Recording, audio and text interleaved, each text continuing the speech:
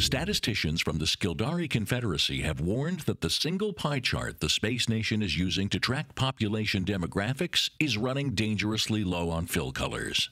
The chart, which once offered easy visualization on the number of species living in Confederacy space, has struggled to keep up with rapid population rise in light of recent migration treaties and the legalization of xenocompatibility. The problem has been further compounded by the galactic community's stringent eye safety standards, which only authorize the use of 25 colors in the public domain. Top Scyldari scientists have warned that time is running out, writing in an open letter to the public, quote, there is no going back from peak color, adding, we may be left with no choice but to start using shades of black.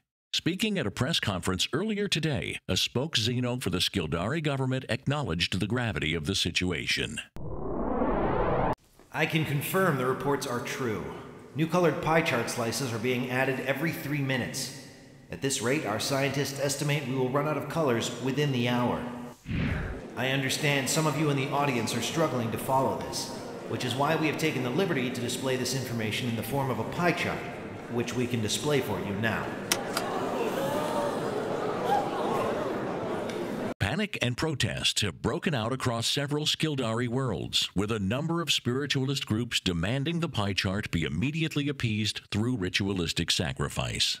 The galactic community has called for calm, while several neighboring space nations have pledged emergency shipments of their most jarring spare colors.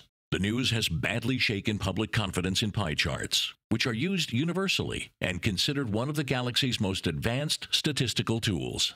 In the meantime, Scyldari officials state they are confident they can develop emergency methods of data visualization, hinting at a radical plan to incorporate pie charts into line graphs.